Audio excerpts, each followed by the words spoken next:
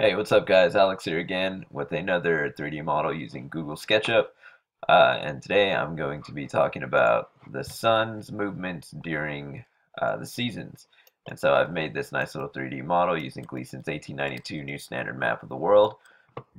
Um, and so, as always, according to Vedic cosmology, I have the sun highest in altitude during summer, lowest in altitude during winter, and then, of course, as we know, uh, the sun is over the Tropic of Capricorn, the 23rd degree north parallel during summer, and uh, over the equator equinox, and the 23, 23rd degree south parallel during uh, winter over the Tropic of Capricorn.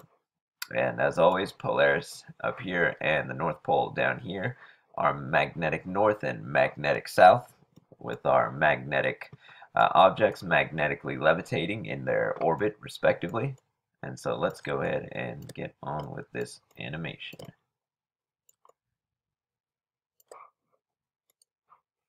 Alright, so uh, as you can see, the the summer sun, I'm sorry I couldn't get this to move with it. I don't know why I couldn't, but uh, the summer sun moves a lot slower than the winter sun.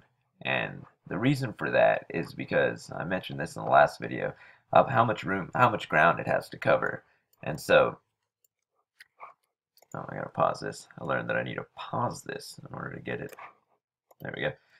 Uh, and so the sun moves.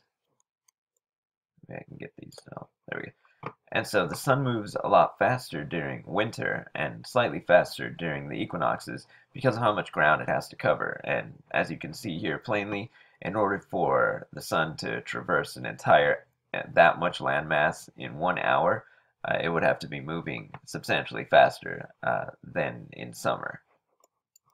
And so yeah, this is my little 3D model that I made. I wasn't going to make a full five minute video, just wanted to make a quick little two and a half minute video so you guys could see um, um, could see how this looks. Now these are all individual days. Um, this doesn't this doesn't represent a week or a month or a year. It just represents how they look individually in each 24 hour day.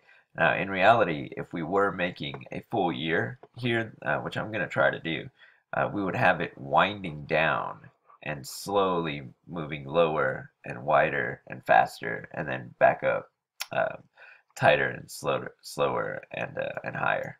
And so, yeah, that's my little 3D model. Hope you guys liked it. Have a good day.